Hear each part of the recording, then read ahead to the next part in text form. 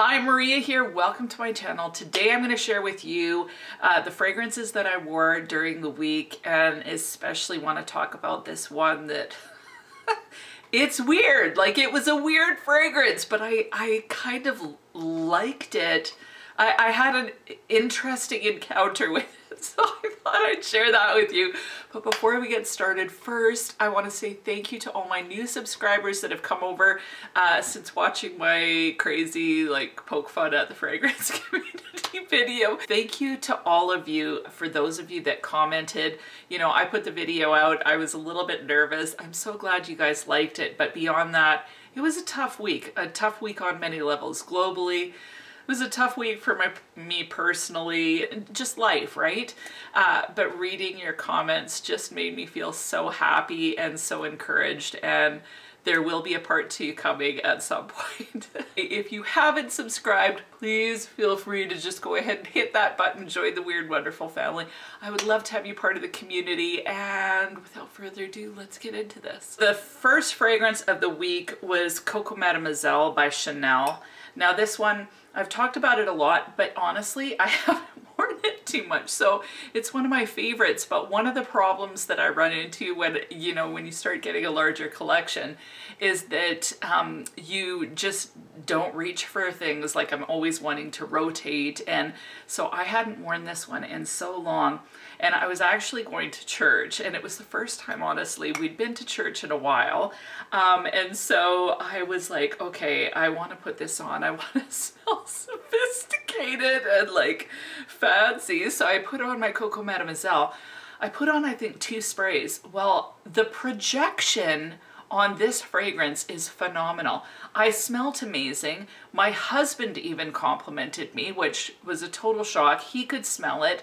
Um, it smells classy, but it's not overbearing in any way. Um, yeah, this is, this is again such a love for me. So I'm so glad I wore it. It made me feel kind of like spring was coming. Uh, I felt classy and sophisticated and yes highly recommend this one. I just thoroughly enjoyed wearing it. Next fragrance that I wore was Insolence EDT by Guerlain. Now this is the old packaging. The new packaging is so much nicer. My guess is the formulation has slightly shifted as well. Um, I really want to try the Eau de Parfum, but this one I was like, oh, I'm not crazy about it. First of all, the bottle kind of looks like some sort of spacey, weird, it, you know, it does nothing for me. Uh, but then the fragrance, uh, in the past, I'm like, it's just not for me. It's just too powdery. Uh, it's too like mature, like what I would think of as just old fashioned. Uh, so I wasn't into it. And this was like super hyped up in the fancier bottle. Super hyped up last year. Like everyone was like, this is a fairy princess fragrance and this is the best thing ever. Actually, my friend bought this one and she didn't like it, so she passed it on to me. This comes across as very powdery, slightly sweet, um, but for whatever reason, I really enjoyed wearing this one. So I'd worn it once before and just thought, ugh, I don't like it at all. But um, in sniffing it recently, because I was going to declutter it, I'm like, there's something, there's something I'm gravitating towards this now. You know, as our, as we like kind of grow and smell things, uh, I think our nose starts to change and develop what we kind of didn't like before we may like now and vice versa. So for whatever reason, I was a little bit intrigued by this one. I actually enjoyed wearing it during the day. Um, so I'm going to keep giving it a try. To me, it felt kind of springy. It also felt sort of comforting. So I will keep you updated on this one, but I actually really enjoyed wearing it. Next one that I wore during the week was Valentino's Donna Born in Roma. Now this one I have a love-hate relationship with. My sister was over, oh see, like when I smell it off the cap, it's just intoxicatingly awesome. Like it's got black currant, I think. Um, it just smells sweet and delicious, like really kind of addictive. Um, so on the cap, I love it. Um, my sister sprayed it on, like she came over and sprayed it on. I smelt that delicious kind of curranty vibe from it. I smelt the bourbon vanilla and I just thought it smelled so delicious. Uh, but I wore it this week and I basically drenched myself in it. Like I really went to town because I thought, okay, I really want to smell, smell this during the week. So like I, I oversprayed it and probably everybody that I was around was horrified, but um, oversprayed, put it on my clothing, uh, and I definitely smelt it all day. So it lasted me at least eight hours. Um, I could smell it on my skin, I guess, but I'd also sprayed my clothing. So it definitely lasted. Uh, I liked this one from the perspective that, you know, you got that nice fruitiness and then as it dries down, it becomes more of that bourbon vanilla.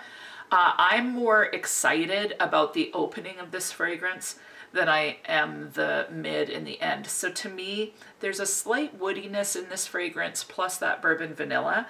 Um, it's nice, but I still like, so I smell it now and I'm like, oh, this is so amazing.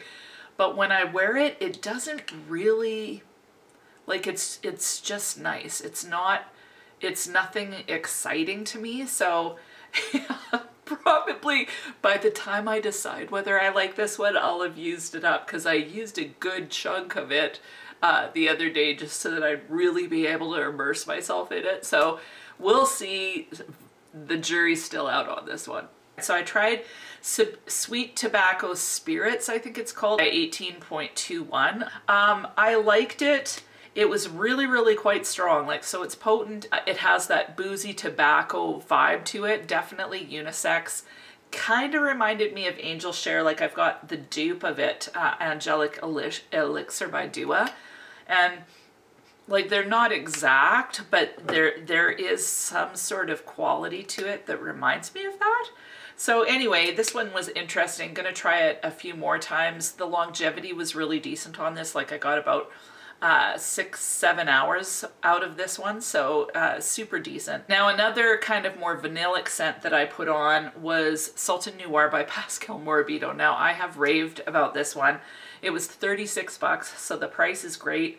It smells amazing. Now, um, I went and visited my friend uh, from Deep Green Beauty recently.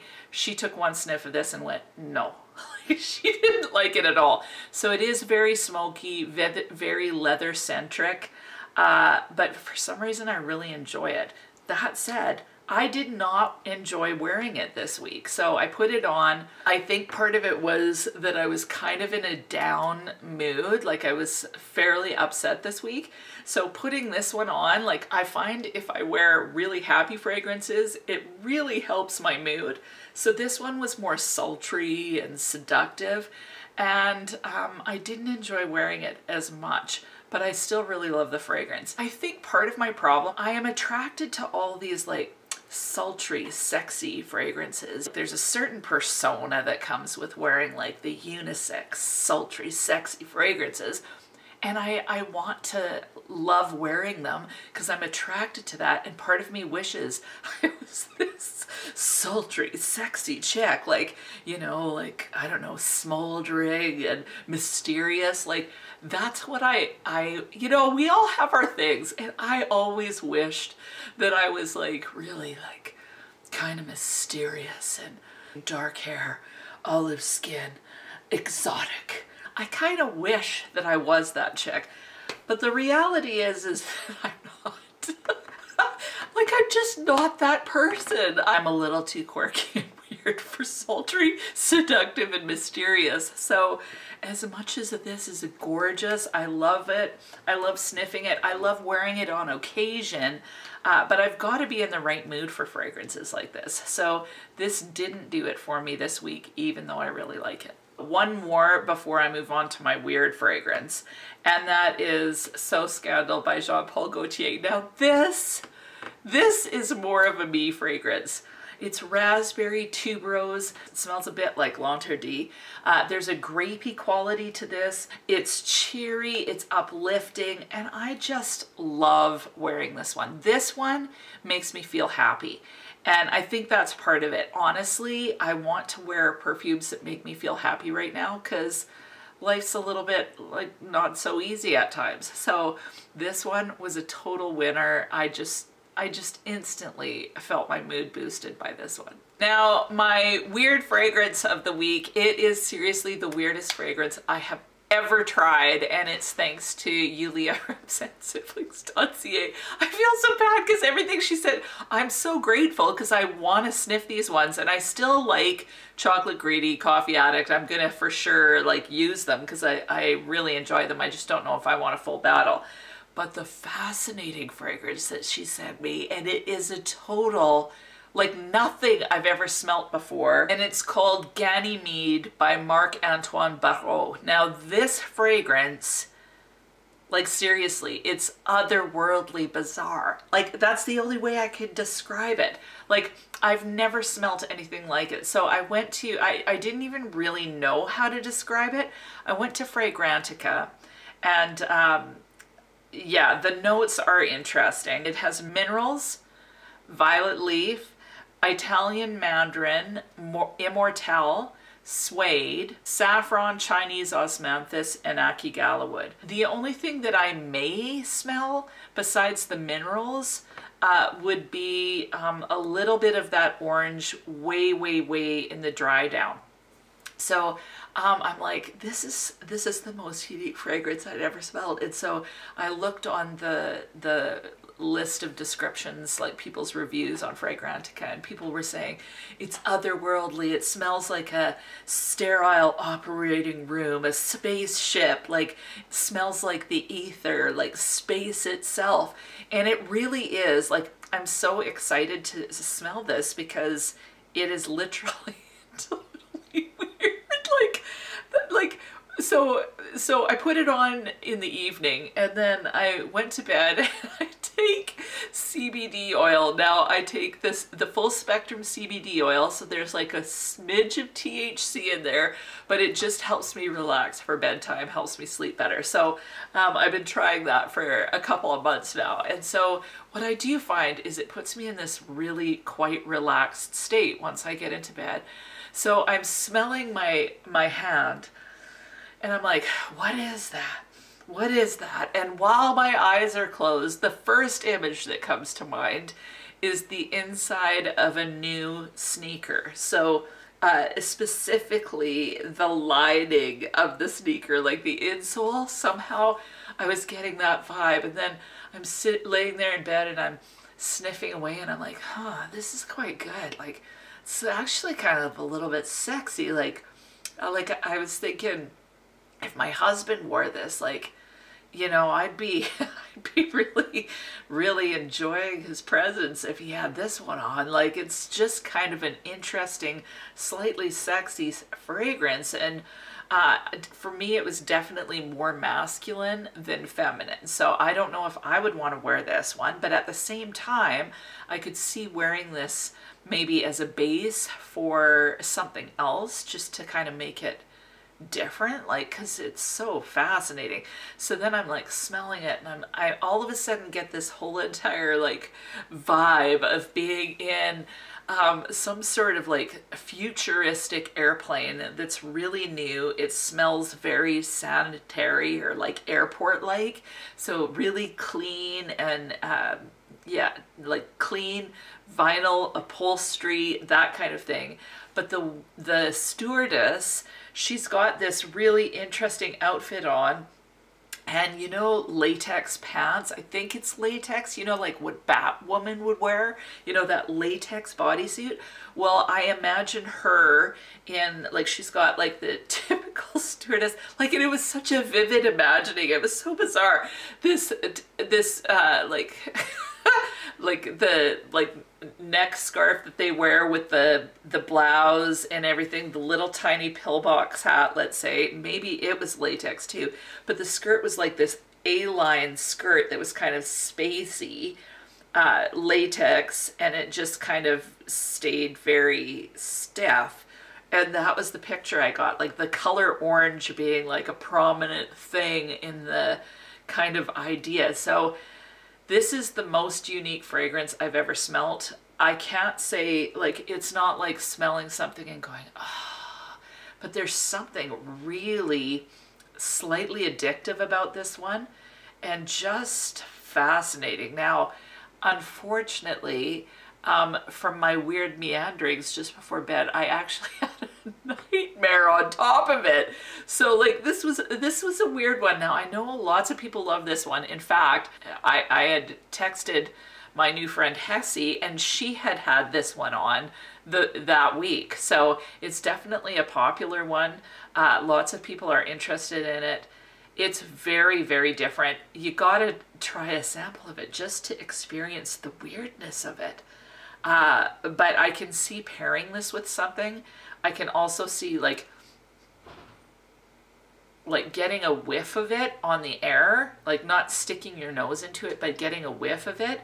It just smells kind of clean uh, and just intriguing. So one of the most fascinating fragrances I've ever smelt.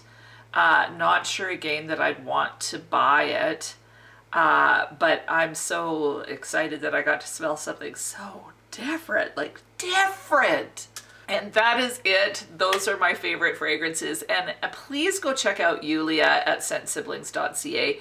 She is wonderful. I love her. She's such a sweet, generous, kind person. Uh, she has, uh, she does what she calls entertaining videos. So she just kind of chit chats away. And uh, yeah, she's got quite a sense of humor and I just really appreciate her. So please go check out her channel. All the channels, all the fragrances are linked down below. And yeah, what was your standout fragrance? I would say my standouts for the week were definitely Coco Mademoiselle and So Scandal because it put me in such a good mood.